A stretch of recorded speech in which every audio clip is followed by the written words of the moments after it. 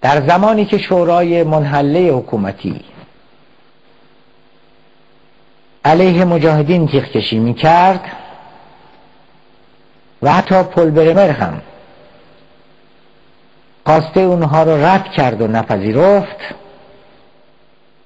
در زمانی که کسی جرأت حرف زدن نداشت هفت سال و اندی پیش این رئیس جمهور برگزیده مقاومت ایران بود که در چنان فضایی و در چنان بهبوهی.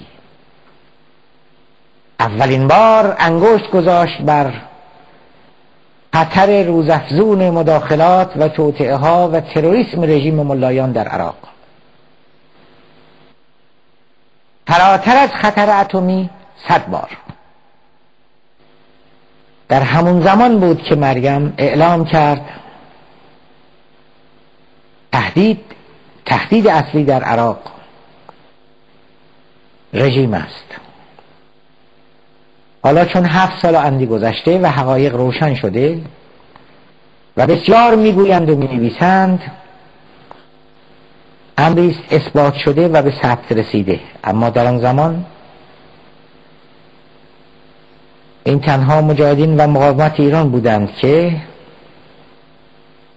با شجاعت و جسارت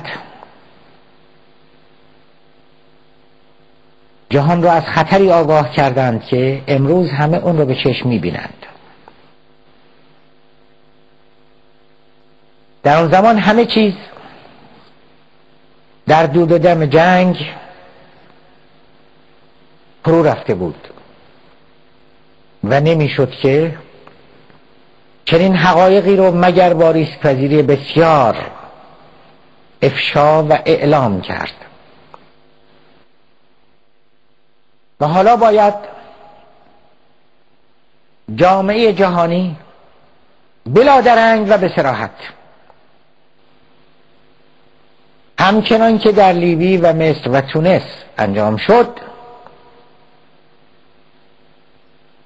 به محکومیت مالکی و استبداد و دیکتاتوری در عراق بپردازد.